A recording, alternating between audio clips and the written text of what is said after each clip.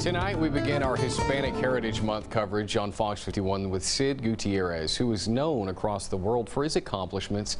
Not only did he make it into space aboard two NASA shuttle missions, he made it into the history books. His story begins, however, in Albuquerque, New Mexico.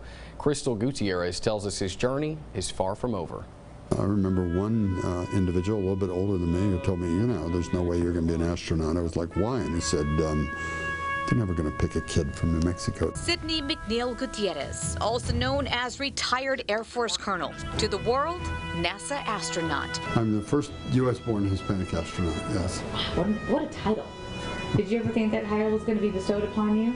Uh, Um, I always wanted to be an astronaut. As Sid accomplished his first goal by making it into the Air Force Academy, he would soar past his second goal and became a pilot, flying the F-15s and becoming a pilot instructor, then becoming a test pilot for the F-16s.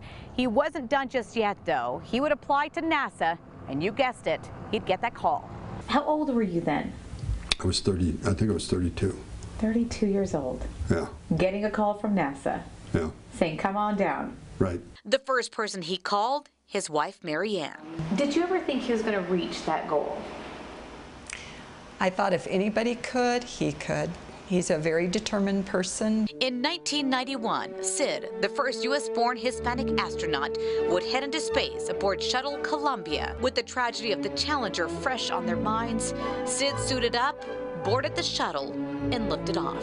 You saw it going up, but feeling those shock waves against your chest uh, made you realize that they're really going into space. In 1994, Sid became the first Hispanic to ever command any space mission, including Russian missions.